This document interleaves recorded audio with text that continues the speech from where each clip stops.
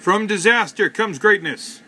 So, after the problem I had this morning with the other extruder I was building, uh, the other hot end I was building, um, and I destroyed that barrel, I got a little bit depressed, and then uh, I went and told Laurie, she's like, good thing you got a lathe, get back down there and finish it. And I'm like, oh yeah, shit.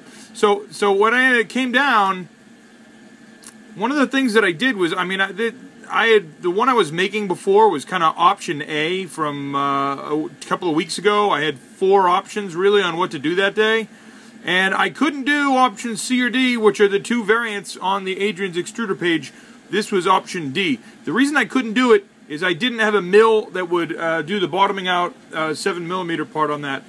But so this is actually a better one than the one I was making this morning. Um, it is a PTFE liner that goes all the way down through a PEEK block and then through uh, brass to near the end, but not quite to the end. This is held under tension. When I mount it, the the um, the PTFE will be pr you know, pressed up against this and uh, the extruder, and uh, this the same PEEK block from before, which fits in perfect and holds right up against that uh, that flange there. So um, I'm pretty happy. This is good. All right, success.